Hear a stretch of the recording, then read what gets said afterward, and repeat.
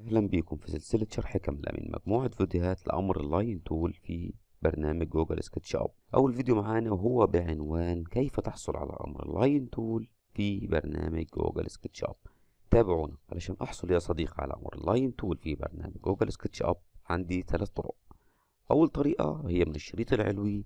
هلاقي أيقونة القلم بعنوان line لو ضغطنا على السهم اللي جنبها هنلاقي بتتكون من جزئين. جزء خاص بأمر line وهو بالخطوط المستقيمة والجزء الثاني وهو بعنوان freehand خاص برسم الخطوط المتحركة.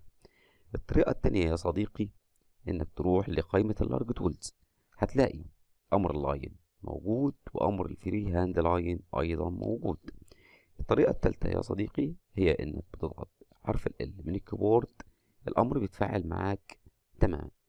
ايا كانت الطريقة يا صديقي بمجرد ما تضغط على الامر بتلاقي شكل المؤشر معاك اختلف لشكل القلم في ملحوظة بسيطة حابب اقولها يا صديقي إن لو القايمة دي مش موجودة معاك تقدر تضغط click يمين على شريط الأدوات اللي بالأعلى هتلاقي قائمة large tool set مجرد ما تختارها بتظهر معاك تاني كما هو واضح. علشان تبدأ ترسم يا صديقي بتبدأ تضغط click وتسحب بهذا الشكل بالماوس بتلاقي الماوس حر معاك بمجرد ما تضغط click آخر كده انت رسمت line.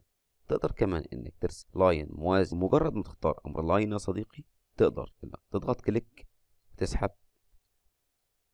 بهذه الطريقة. وتضغط click آخر كده انت رسمت line. تقدر كمان إنك ترسم line من حيث ما انتهيت يا صديقي. يعني لو خلصت خط بهذه الطريقة تقدر تروح لنقطة النهاية بتاعته ال end point وتقدر تكمل رسم عادي جدا. هتلاحظ يا صديقي إنك لما تضغط click وتسحب شكل الخط معاك بيبقى باللون الأخضر. معنى ذلك إنك شغال موازي لمحور X اضغط click تعالى نكمل من هذا ال line هتلاقي إن الخط معاك باللون الأحمر. لو ضغطت كليك هتلاقيه أصبح موازي لمحور إكس ده كل اللي عايزين نقوله في الفيديو البسيط بتاعنا ده يا صديقي. هنكمل إن شاء الله في الفيديوهات القادمة. أشكركم.